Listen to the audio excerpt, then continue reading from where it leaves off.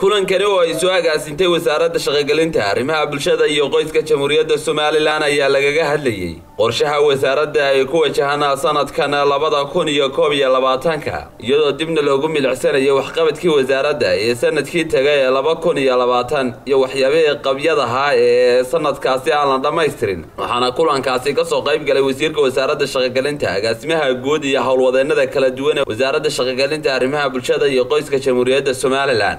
kulankaasi ayaa muddadii uu socday waxaa la isla qaadaadhigayay sidii wasaaraddu qorshe cad ugu yeelan lahayd ee sanadkan labada kun iyo koob iyo labaatanka islamarkaana loo dhammaystiri lahaa waxyaabihii ka qabyoobay wasaaradda sannadkii hore ee laba kun iyo labaatan. Waxaa ugu horreyn halkaasi ka hadashay agaasimaha waaxda qorshaynta ee wasaaradda shaqogelinta arrimaha bulshada iyo qoyska jamhuuriyadda somalilan marwe filsan xuseen khaliif oo iyadu faahfaahin dheeraada ka bixisay qorshaha wasaaradda ee ku wajahnaa sanadkan labada kun iyo koob iyo labaatan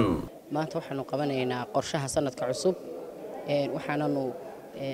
sidoo kale warbixintiisii aanu soo jeedinaynaa ama aanu dibi eegis ku samaynaynaa sannadkii ee galbaday. Waxyaabihii noo qabsoomay waxyaabaha aan noo qabsoomin iyo sababaha ay noogu qabsoomi waayeen si aanu casharo uga baranno oo sanadkan cusub ee bilaabmaya aanu qorsho cusub u dejisanno maadaama wasiirkuna yahay wasiir cusub wuxuu ku soo beegmay wakhti cusub oo aan isla jaan qaadi karno. Marka kulley inahaasunbuu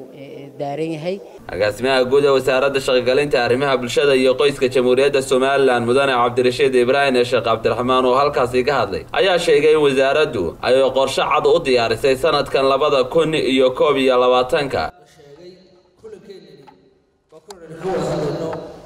Diiwaanigsiga qorshaha qorshihii sannadkii hore labaatan labaatan wixii noo qabsoomay wixii noo qabsoomi waayey caqabadihii aan la qorannay iyo wixii caqabado ku gudbi kari weynay sidii aan u xalin lahayd. Waxa kaloo shaqeeya kaga hadli doona haddii aan la yidhaahdo inta aynaan gelin qorshaheena cusub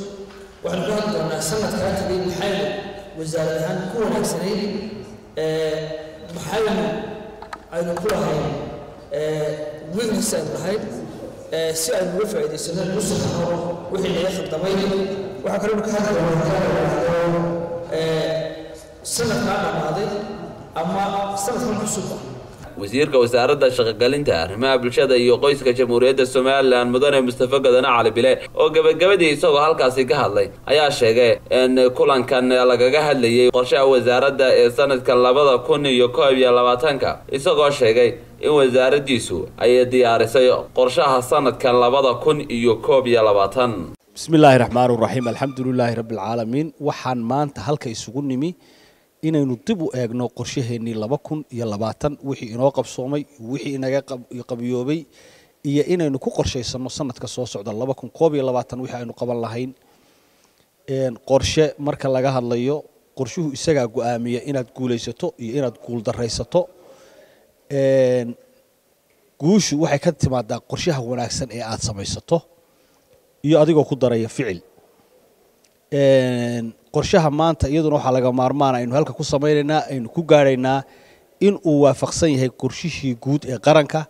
iyo in uu waafaqsan yahay qorshihii xisbiga kulmiye iyo ballanqaadyadii madaxweynaha jamhuuriyadda somalilan. Waxaan rajaynayaa in agaasima waaxeedada iyo madaxda iyo aqoon-yahanka halka fadhiya maanta uu maskaxdooda tuujiyaan si si concentrate ana isaga xilsaaraan maskaxdooda tuujiyaan maadaama qorshaha halka aynu ku gaadhaynaa maanta uu hogaaminayo guusheenna sanadka soo socda iyo guuldaradeenna waxaa jaangoynaya ama ma go'aaminaya waa qorshaha maanta aynu halka ku gaadhno